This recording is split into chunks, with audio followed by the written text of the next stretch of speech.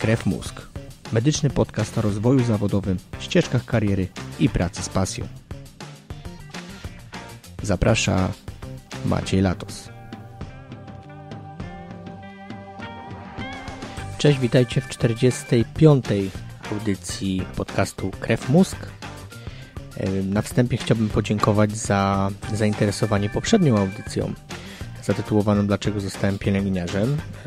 Nie sądziłem, że ta audycja wzbudzi takie zainteresowanie. No ale to pokazuje chyba, że takie osobiste historie, czy moje, czy innych osób, chyba są najciekawsze w dążeniu do pewnego etapu życia i kariery zawodowej i one chyba najlepiej pokazują, jak to wszystko może się potoczyć, bo oczywiście oficjalne, oficjalne ścieżki no są, każdy wie jak one wyglądają, studia i praca, natomiast w życiu wiadomo bywa różnie. Natomiast myślę, że najważniejsze przesłanie z tamtego odcinka jest takie, że nigdy nie jest za późno, żeby robić to, co się lubi. Po prostu. Natomiast dzisiaj w 45. audycji będzie komentarz Katarzyny Kowalskiej ze Stowarzyszenia Pielęgniarki Cyfrowe na temat tego, co się dzieje wokół dodatku zębalowego, a w zasadzie może w sprawie tego, coś, co się nie dzieje, a co się powinno dziać. Otóż zastanawiamy się przez krótki, przez krótką chwilę z Katarzyną nad tym, no, jak mamy obecnie podchodzić do stanu rzeczy, który jest. To znaczy, wydaje się, że coś się zmienia. Jedni mówią zabiorą, drudzy, że nie zabiorą. Jedni panikują i nie są spokojni, jak to w zasadzie jest. I myślę, że do końca w tej audycji też nie odpowiedzieliśmy na to pytanie, ale to pewnie dlatego, że no, mamy dosyć jakby wysoki poziom skomplikowania sprawy. No natomiast byłem ciekawy, jak Stowarzyszenie Pielęgniarki Cyfrowe, które jest zaangażowane w te wszystkie nasze problemy, przede wszystkim właśnie na takim szczeblu oficjalnym, do tego podchodzą, podchodzi stowarzyszenie, więc prezes tego stowarzyszenia udzieliła komentarza na temat sytuacji panującej właśnie wokół dodatku zębalowego i jego dalszych losów. Serdecznie zapraszam do wysłuchania 45 odcinka. Ten odcinek oraz inne znajdziesz na stronie krewmusk.pl, w aplikacjach do słuchania, np. iTunes, Spreaker, Spotify oraz na YouTubie. Zapraszam do subskrypcji i wystawiania opinii. Cześć Kasiu. No cześć, witam Cię Maćku. Dzięki, że tak szybko przyjęłaś zaproszenie do podcastu, aby udzielić komentarza wokół tego, co się dzieje. Bo wydaje się, że się nic się nie dzieje, ale nerwowe ruchy to przede wszystkim na oddziałach, tak jak gdzieś tam w szpitalu rozmawiam, są. Natomiast mało oficjalnie wiemy. Oj, ja bym powiedziała, że oficjalnie mało się dzieje, a tak naprawdę pod stołem dzieje się bardzo dużo. W placówkach medycznych komunikaty są sprzecznie przekazywane. Mamy jakiś taki chaos informacyjny. Media społecznościowe również nie pomagają, gdyż dochodzą z różnych stron sprzeczne informacje na temat tego, co się dzieje, jak jest to wprowadzane i jak jest to wykonywane w danych placówkach. No właśnie, to doprecyzujmy. Generalnie rozmawiamy o dodatku zębalowskim, który później został jakby podbity przez Szumowskiego ministra. Kończy nam się czwarty rok, jakby czwarta transza, ta, która miała obowiązywać. No i w jakim tym momencie jesteśmy miejscu, jeśli chodzi o dalsze, że tak powiem, losy tego dodatku i o plany właśnie z jednej strony tych na górze, a z drugiej strony co się dzieje w szpitalach. Bo jeszcze nie tak dawno, w maju rozmawiałem z panią wiceminister Szczurek i mówiła, że dodatek, który został zagwarantowany raz, czyli on przez 4 lata miał się zwiększać, co się działo, z różnymi oczywiście tam przebojami i on miał pozostać taki do końca świata zapewne. O co tutaj w takim razie chodzi w tym całym zamieszaniu i w mediach, i w, w placówkach medycznych?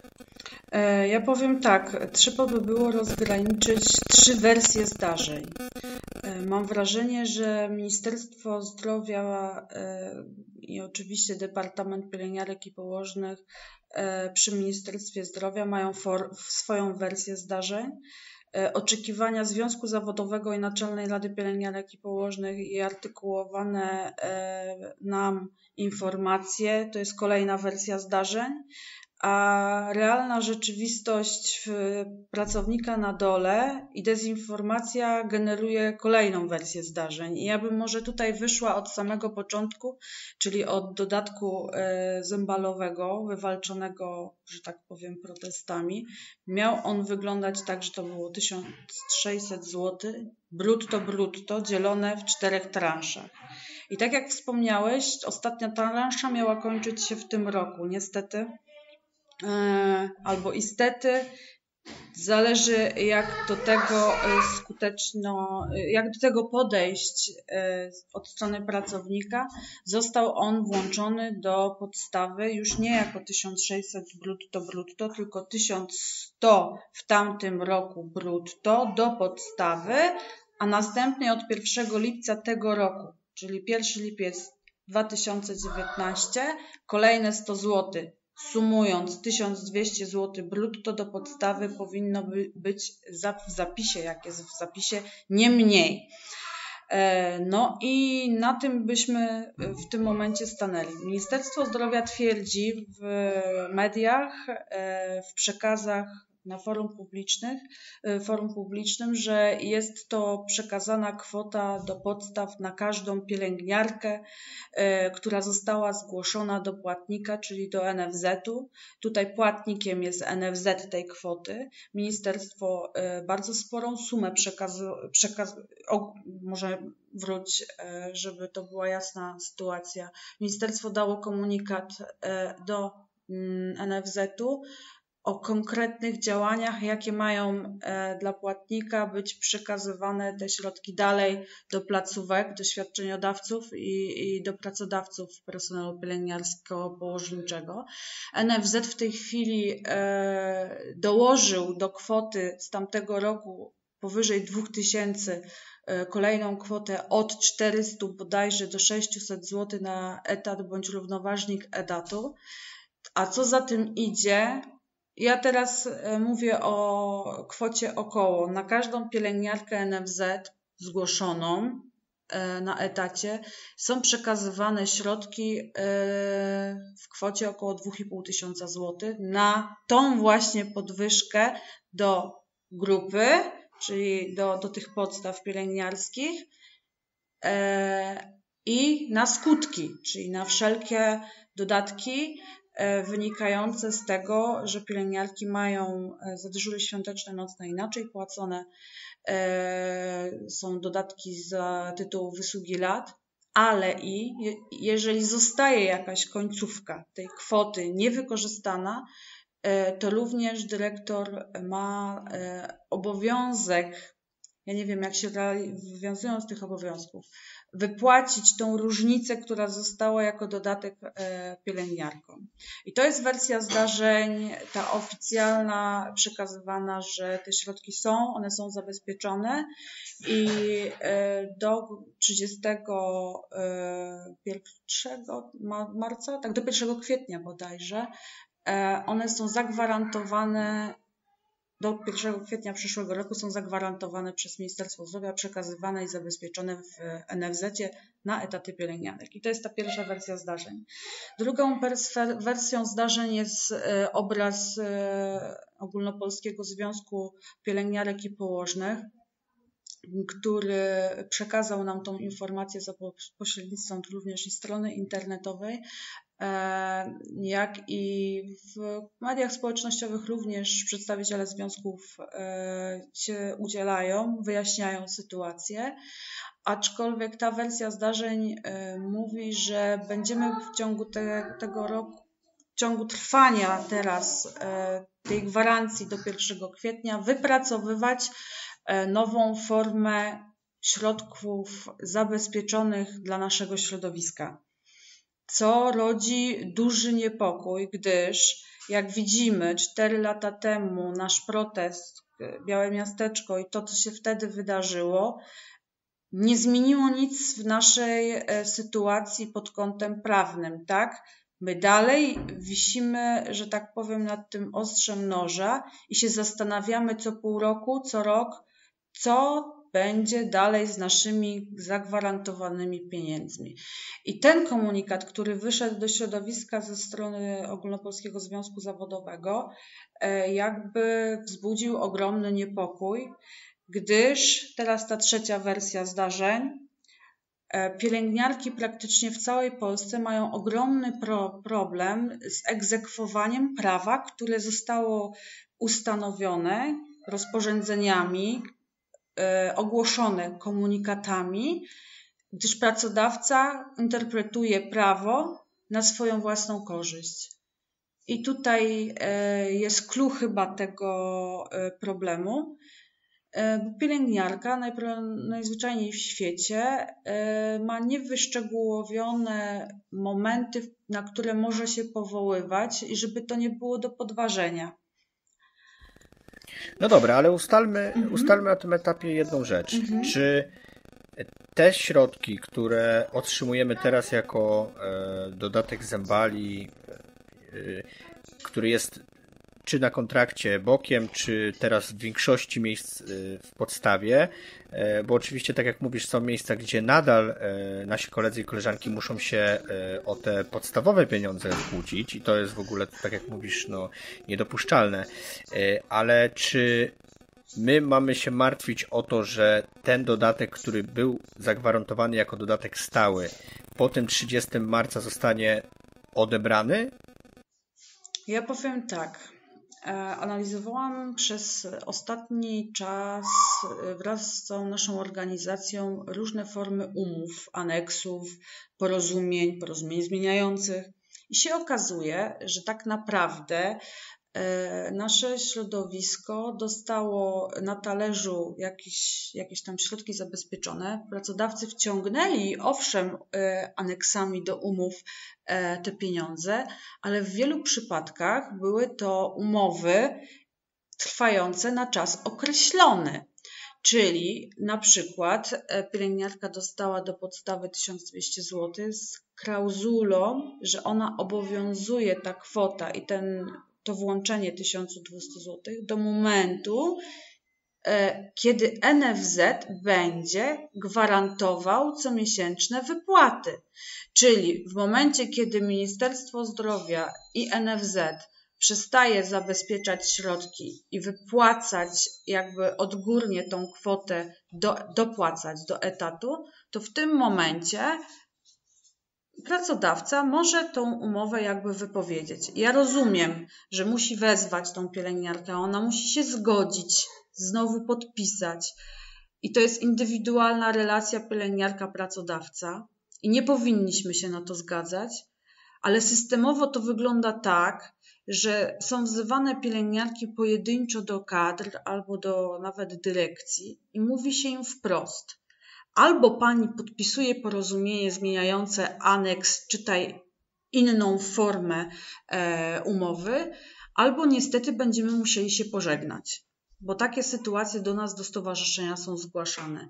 Mało tego, pielęgniarki młode, które dopiero weszły na rynek pracy w sierpniu, bo odebrały e, prawa do wykonywania zawodu, zgłaszają nam, że idą do pracodawcy i się dowiadują, że oferuje im się najniższą krajową, nie powiększoną o to 1200 zł, argumentując, że ich to nie obowiązuje, że obowiązuje ich tylko w tym momencie, kiedy one ewentualnie za trzy miesiące będą zgłoszone do tego NFZ-u, ba, niektórym nawet nie mówi się o tym zgłoszeniu, że pracodawcy jakby wykorzystują niewiedzę pielęgniarek młodych i próbują naginać fakty i podpisują z nimi umowę na najniższą krajową. I w tym momencie zaczynają się e, ogromne konflikty, bo właśnie taka pielęgniarka wrzuca zapytanie do sieci bądź do grupy wsparcia, e, bo szuka informacji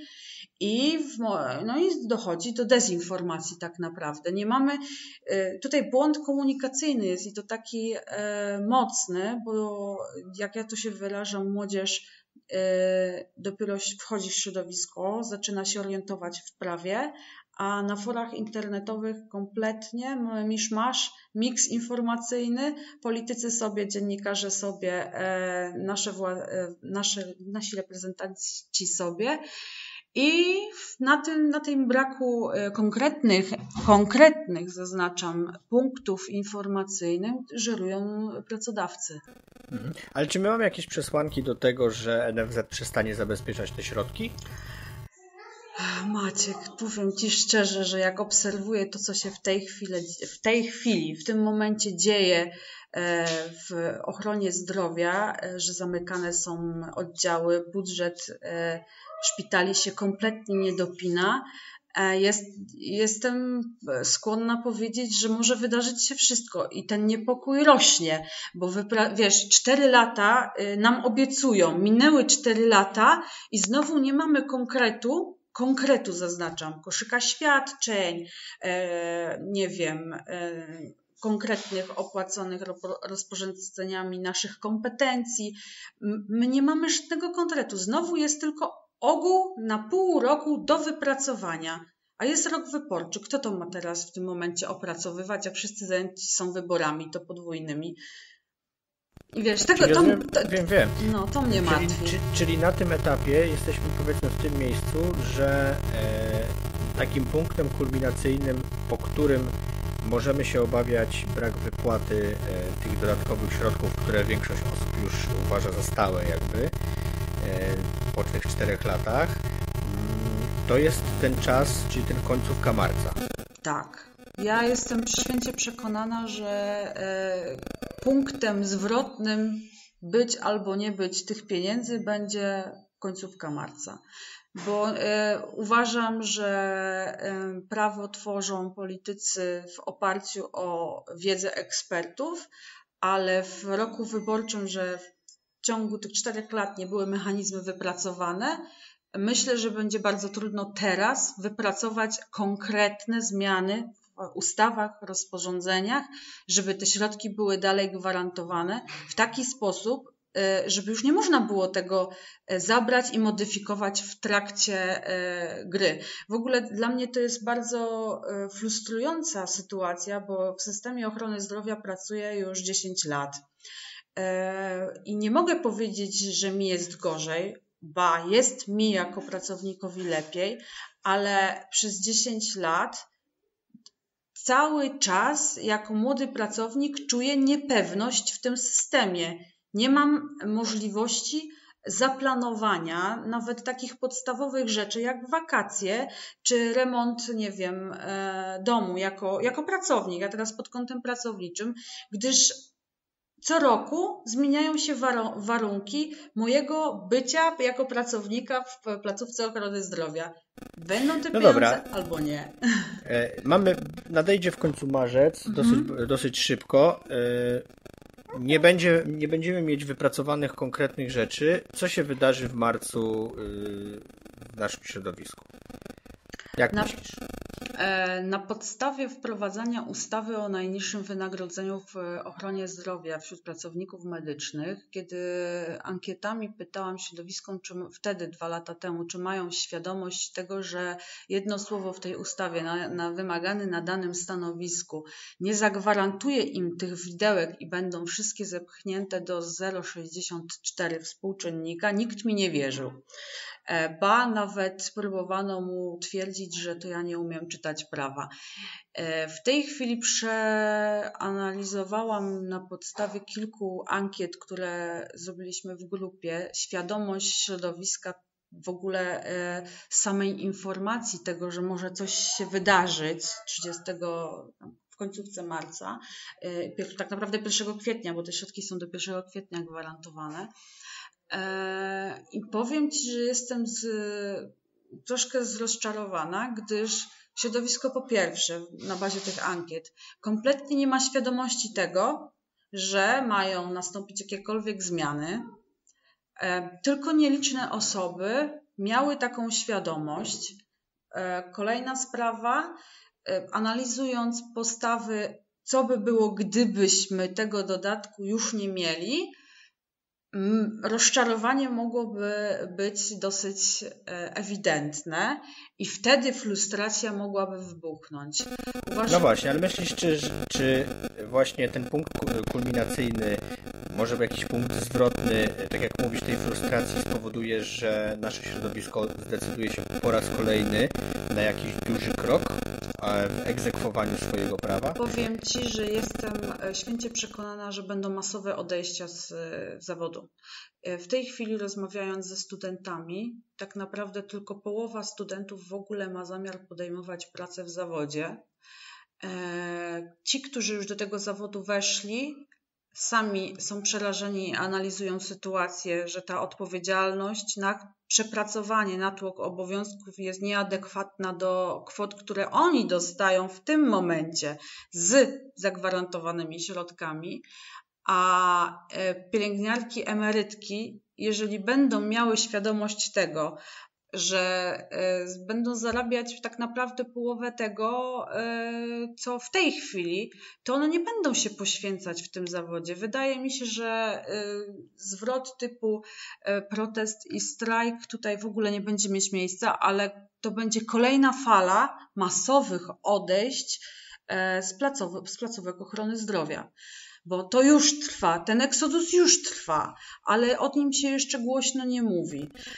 No i właśnie chciałem Cię na koniec jeszcze zapytać, y, ale w sumie trochę odpowiedziałaś już na, na moje pytanie, bez tego pytania.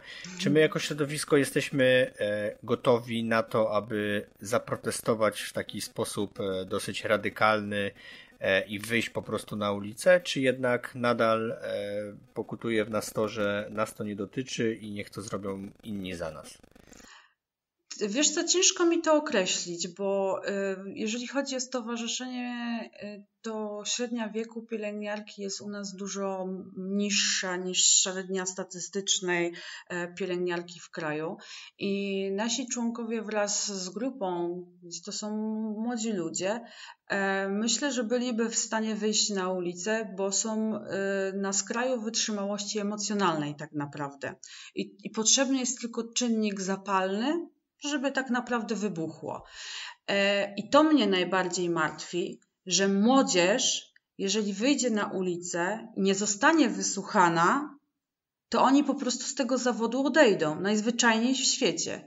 Bo nasze starsze koleżanki, one protestowały regularnie od 20 lat. I tak naprawdę e, nie mają już sił do protestu. To nie o to chodzi, że one nie chcą protestować. Wydaje mi się, że są już na, takim, e, na takiej granicy e, zmęczenia materiału fizycznego i biegania z pracy do pracy, że e, im najzwyczajniej w świecie już nie zależy.